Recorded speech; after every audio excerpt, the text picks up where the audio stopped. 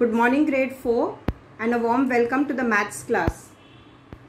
Well children, I want you to look at these numbers and identify identify what's wrong or what's the difference, what's special about these numbers. Take a moment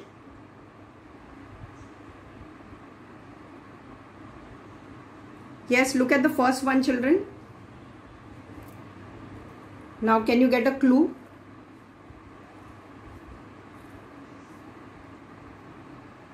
What's it? You are adding 2. So it is increasing by 2. What about the second one children? Look at the second one let's form this. Now is it easy? You multiply each digit by 2 1 into 2 2 into 2 4 into 2 8 into 2 right? Move to the next one children. The third one. 85 80 75 think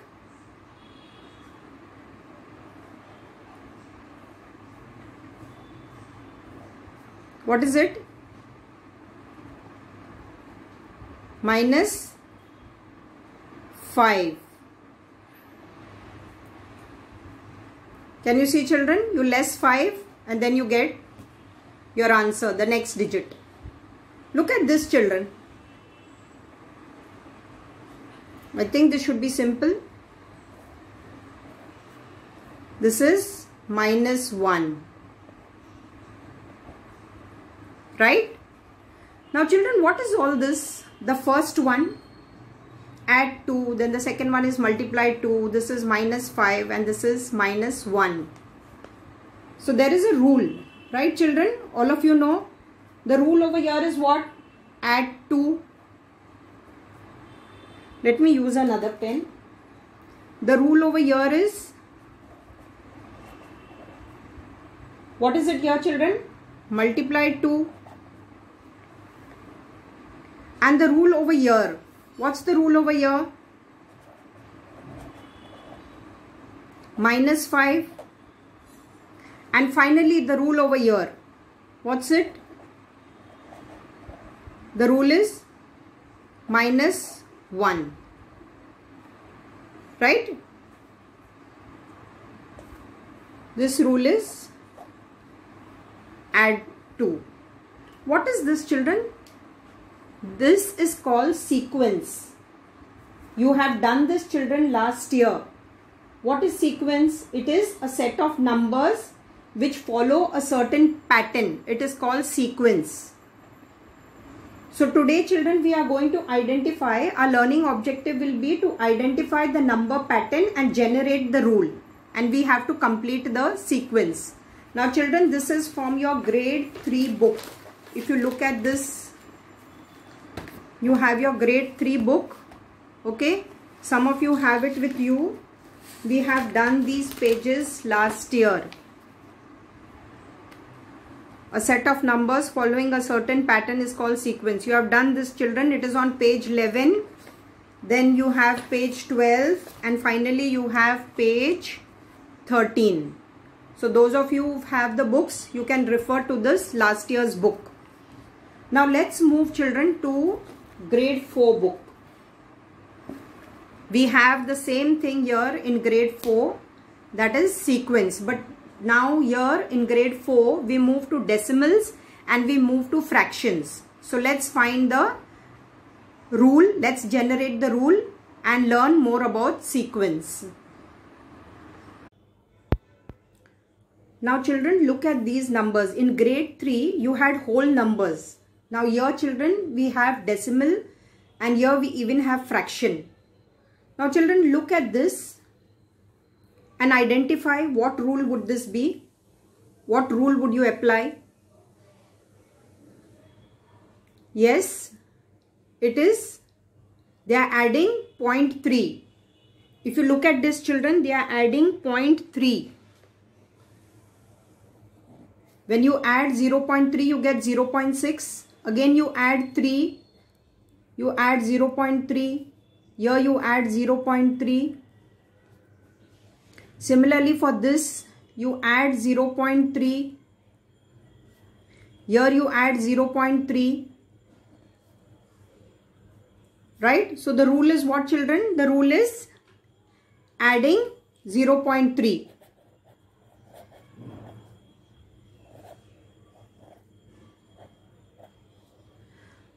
Children, if you don't get this, you know, you can do the rough working. What you do is, if you're doubtful, you want to check your answer. So you could do this 0 0.3, add 0 0.3. So see here, you get it 0 0.6. Children, don't forget this decimal. So it's 0 0.6. Now again to 0 0.6, you add 0.3 you're getting 0 0.9 right? Similarly you take 0 so you can do all this in your rough column children. 0 0.9 you add 0 0.3 so what are you getting? 9 10 11 12 correct? So it is 1.2 so similarly you see it over here right now identify for the second one children the fraction. Look carefully. If you see it is increased by one fourth. Adding one fourth. One fourth and one fourth gives you half. Yes children, you know your fractions. Okay. Then you add another half, you are getting three fourth.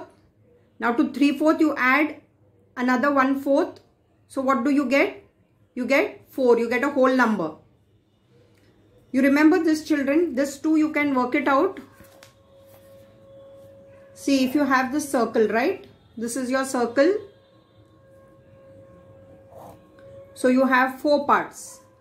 This is your 1 fourth. This is your 1 fourth. This is 1 fourth. And this is 1 fourth.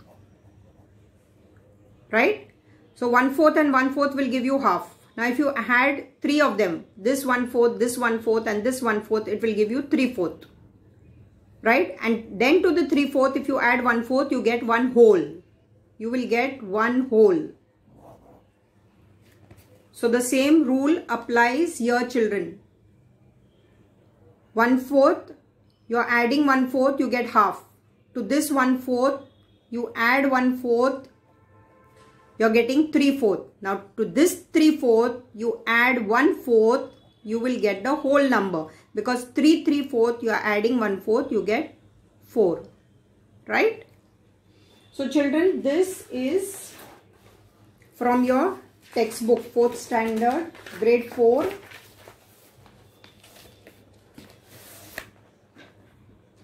These are your rules. Now this is very simple children. Addition. This was decimal which I did for you again you have decimal. Then you have over here is the fraction. So similarly you will complete 1 and 2 right? I'm going to tick mark here. So this would be your homework. 1 and 2 then children this is shape. This is very simple. Now look at this shape. It is being increased by see here you have 3 here you have 5 here you have 1, 2, 3, 4, 5, 6, 7. So this 3, this is increased by 2. Here it is 1, 2, 3, 4, 5. Again it is increased by 2. So you will add your figures here. Right? Then fill in this table over here children. After that you have this term. Fourth and fifth term. Children, what is a term? What is a term? This also you have done last year children. I will show you what is a term. Let me explain. Children see this term. This also you had it last year in your uh, grade 3. You remember each number in the sequence is called a term. First number in the sequence is called the first term. Then the second number is called the second term. Right? So this is your first term. This is your second term. Number 13 is your first term. Number 5 is your second term. Similarly, if you see your children find a missing term, 9, 12. What would the next term be? What is the rule over here? Look, you are adding 3. So this would be 15. This would be 18. And then you have 21 and 24. So term is nothing but it is the number. If you have last year's uh, book children, please you can open the book and refer to that. So similarly over here children, you have to draw the fourth and the fifth term. See here, the second term is here, the third term is here. So now the fourth one, where will you add? Down below, right? These are simple drawings children. I think you will be able to solve these. After that children move to exercise 21. This also children we you have done last year. Find the first 8 terms of each number. Now starting at 4 add 3. So to 4 if you add 3 what do you get? 7. Correct? So this is your first term. So you will add till 8 terms. Understand? Now starting at 76 you subtract 7. So you start from 76. If you subtract 7, what will you get? 76 less 7. Children, you can do the working in your uh, rough column if you cannot get it. What's the answer? 69. Do it in the rough column, children. Okay? 76, 69 and then you continue. So you have to do up to 8 terms. Now start at 3 double. 3 you double what do you get? 6. Add 3 add 3. This is the rule. Now this you have to half it. So that means you will divide it by 2. So children this also I think you can continue. And this one children you have to draw the line this is the similar one to your grade 3 one year which you did it on a number line. Remember this number line children? Do you see this? So this is similar to this. This page children, do you remember exercise 6? So that also you are going to do it on this number line. I will post one in the broadcast uh, Uh, group children so that you get a fair idea. So that's all children from my side. You're going to do page 27 and page 28. This exercise and this exercise. Exercise 21 that is on page 28 1 and 2 right and you will also be doing page 27